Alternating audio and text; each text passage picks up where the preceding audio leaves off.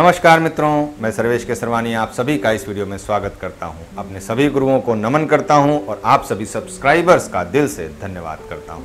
मित्रों 25 अक्टूबर को लगने वाले सूर्य ग्रहण का प्रभाव यहाँ पर हम देख रहे हैं। यदि सोलर इक्लिप्स 25 अक्टूबर 2022 की बात करें तो यहाँ पर कैंसर साइन पर किस प्रकार से इसका प्रभाव आपको देखने को मिलेगा? यानी अगर आपकी कर्क राशि है तो उसका राशिफल आपको किस प्रकार से देखने को मिलेगा? यहाँ पर उसकी बात करेंगे।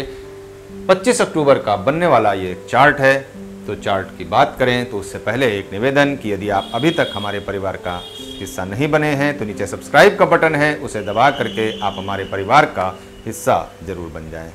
तो मित्रों, लग्न की स्थिति खाली है दूसरा भाव खाली है, तीसरे भाव में आपके मरकरी की पोजीशन है, चौथे भाव में मून की पोजीशन है, सन की है, वीनस की है और केतु की है, ये चार कहों की यहाँ पे कंजंक्शन बना हुआ है फिफ्थ हाउस खाली है सिक्स हाउस खाली है सेवन्थ हाउस में सैटर्न और प्लूटो की पोजीशन है सिक्स हाउस में आपके नेपचून रेट्रो होकर के ट्रांजिट कर रहे हैं नाइन्थ हाउस में जुपिटर रेट्रो होकर के ट्रांजिट कर रहे हैं और टेंथ हाउस में जो यूरेनस है वो रेट्रो होकर के ट्रांजिट कर रहे हैं राहु के साथ। एलेवेंथ हाउस खाली ट्वेल्थ हाउस में मार्स की पोजीशन है।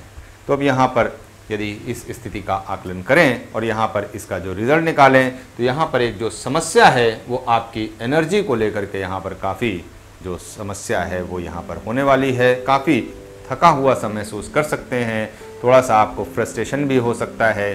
और अपने जो माँ बाप हैं, उनसे थोड़ी बहुत समस्याओं का ही सामना करना पड़ सकता है। मन मुटाव हो सकता है उनसे, किंतु मैं यहाँ पर यही सजेशन देना चाहूँगा कि अपनी माता का आशीर्वाद ज़रूर प्राप्त करें, अपने पिता का आशीर्वाद ज़रूर प्राप्त करें। यदि इनका आशीर्वाद है तो आप कठिन से कठिन स्थिति और परिस्थिति से भी आप निकलने का जो एक आपके अंदर आत्मविश्वास है, वो ज़रूर जागृत होगा। तो मित्रों आपको इस बात का ज़रूर ध्यान देना है और यदि बात करें कि क्या आपको इस समय जो परिवार का समर्थन है, सपोर्ट है, वो मिलता हुआ दिखाई देगा तो यहाँ पर इस ग्रहण की स्थिति से आपको जो पारिवारिक समर्थन है, वो आपको ऐसा प्रतीत होगा कि हमें किसी भी तरीके का सहयोग प्राप्त नहीं हो रहा है। इसकी वजह से आपकी जो पारिवारिक स्थिति है, वो आपको डिस्टर्ब ही दिखाई देगी। अब ये स्थिति आपके हाथ, अपने हाथ में है कि क्या आप उसे सुधारना चाहते हैं। उस स्थिति में यदि आप फंसे रहेंगे तो वो समस्या आपको बनी रहेगी। किंतु यदि उस स्थिति से आप बाहर निकलना चाहेंगे तो आप जो समस्या है, उससे भी बाहर निकल जाएँगे। अब यहाँ पर आपके अपनी जो इच्छा शक्ति है, उसका प्रयोग यहाँ पर आपको ज़रूर करना चाहिए।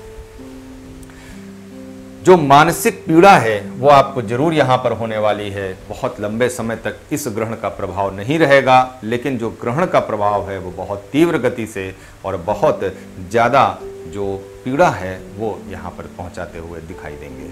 कष्ट आपको ज़रूर होगा, मानसिक कष्ट आपकी जो संवेदनशीलता है, उस पर ठेस ज़रूर लगने वाला है। आपको जो मनोवैज्ञानिक जो विकार हैं, वो आपके स्थिति, वो आपकी बिगड़ सकती है। माता से आपका जो मधुर संबंध है, वो आपको बनाने की जो प्राथमिकता है, ये मैं पहले बोल चुका हूँ, यहाँ पर ये दिखाई देती है। तो यहाँ पर माता से जो मधुर संबंध है, वो बनाने की यहाँ पर आपकी जो कोशिश है, वो यहाँ पर ज़रूर होनी चाहिए। और जो ये स्थिति है, वो यहाँ पर आपकी जो गलत फहमी है, उसकी वजह से निर्मित हो सकती है। अब ये गलत फहमी आपकी तरफ़ से हो सकती है, आपके अपनी माता की तरफ़ से भी हो सकती है।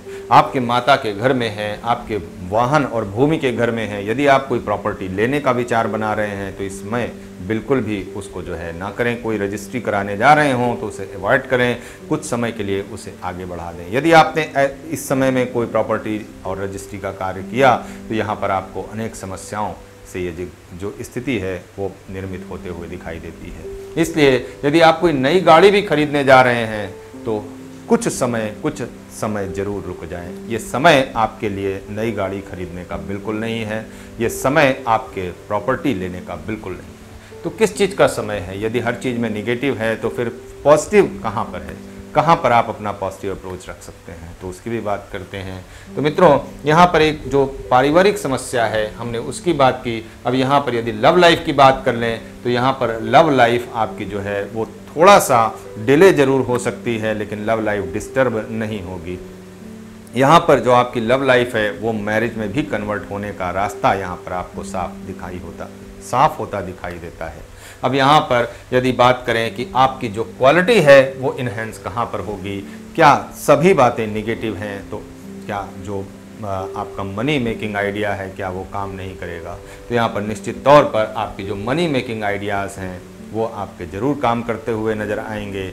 बहुत बड़ा क्षेत्र आपको जो एक्सप्लोर करना है, वो आपको अपनी तरफ़ ज़रूर आकर्षित करेगा। यदि आप पॉलिटिक्स में के क्षेत्र में हैं तो पॉलिटिशियन बहुत अच्छे हो सकते हैं। यदि आप कोई इंडस्ट्री चलाना चाहते हैं तो यहाँ पर यदि आपकी कुंडली सहयोग करती है, समर्थन देती है तो यहाँ पर आपकी अपनी जन्म कुंडली यदि उस बात के लिए एग्री करती है तो यहाँ पर आप कोई बड़ी इंडस्ट्री के भी मालिक बन सकते हैं और बड़ा जो इंडस्ट्री है, उसमें ऊँचे पद पर जॉब भी कर सकते हैं। ये स्थिति भी यहाँ पर बनते हुए दिखाई दे रही है। अब इस ग्रहण का प्रभाव आपके जो जीवन है, उस पर ज़रूर पड़ने वाला है और ये जीवन पर्यंत आपके ऊपर प्रभाव, अपनी छाप छोड़ने की जो क्षमता है, वो यहाँ पर रखने वाला है। यदि नेम फेम पोजीशन की ओर आप बढ़ते हैं तो यहाँ पर नेम फेम पोजीशन आपको मिलता हुआ ज़रूर दिखाई देता है।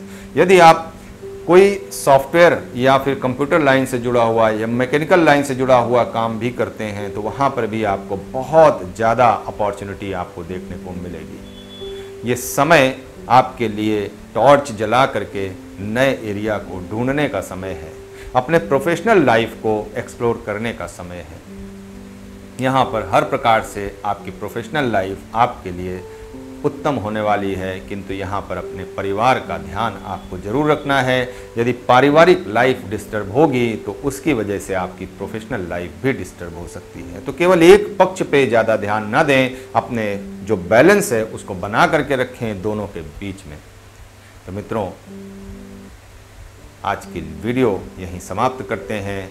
उम्मीद करते हैं कि अब तक आपने एक लाइक का बटन ज़रूर दबा दिया होगा और अपनी प्रतिक्रिया दे दी होगी। अभी तक अगर हमारे परिवार का सदस्य नहीं बने हैं तो नीचे सब्सक्राइब का बटन है, उसे दबा करके हमारे परिवार का सदस्य ज़रूर बन जाएँ। अपनी प्रतिक्रिया और अपने कमेंट हमें नीचे कमेंट बॉक्स में ज़रूर दें। मिलते हैं अगले वीडियो में, जहाँ हम बात करेंगे लियो साइन की, यानी कि आपके जो सिंगल राशि है, उसकी बात करेंगे। तब तक के लिए नमस्कार।